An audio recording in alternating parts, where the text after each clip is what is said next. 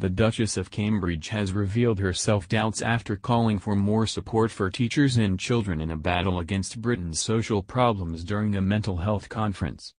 Addressing the conference in London earlier today, the Duchess said she had been very naive when she first became a parent.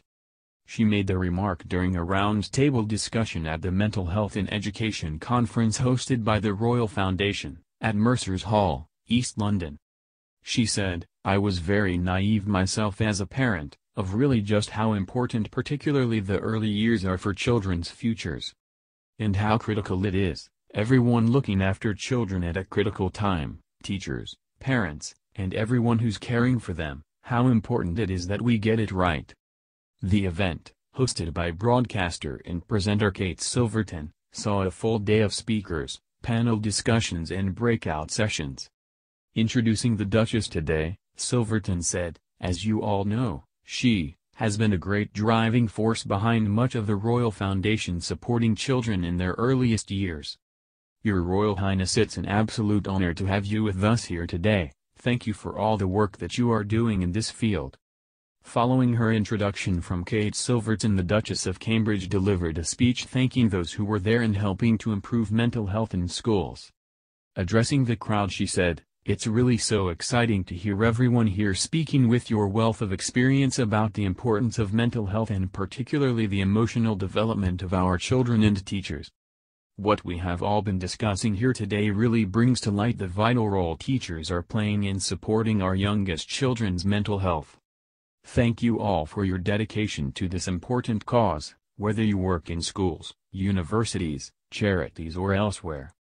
Kate looked prim and proper for her engagement today, wearing a new ensemble today in the form of a bespoke black tweed skirt suit by Dolce & Gabbana. And while the 37-year-old has been showcasing her boot collection recently Kate was back in her signature heeled pumps on Wednesday opting for a black suede pair from Tod's costing £335. The mother of three opted for simple accessories in the form of an elegant £495 black suede clutch by Mulberry and kept out the February chill in a pair of black tights. Kate's hair had been blow-dried to perfection for the occasion with her signature brunette locks looking especially bouncy this morning.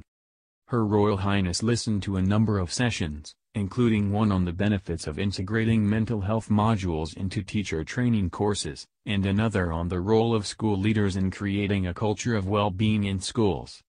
During her visit, the Duchess of Cambridge met with head teachers from a number of schools that are currently piloting the Royal Foundation's Mentally Healthy Schools program.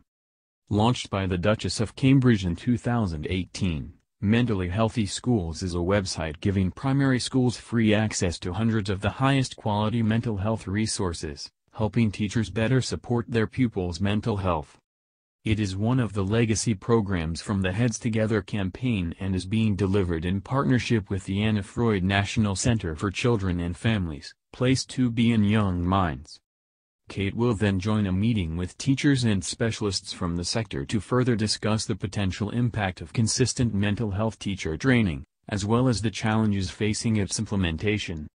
This event forms part of the Duchess' continuing work at the Royal Foundation, where much of Her Royal Highness's focus is on supporting and promoting the mental health of children and young people.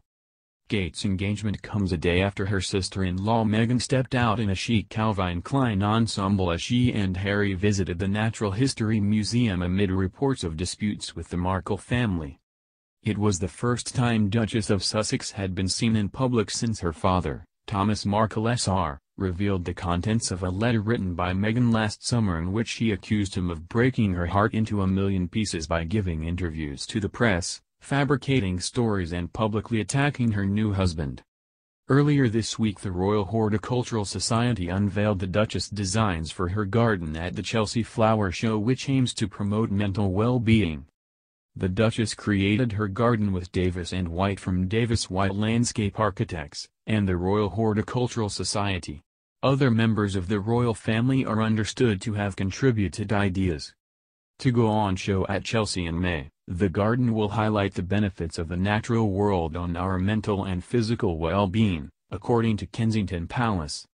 The aim is to get people back to nature and encourage them to create new experiences in the great outdoors.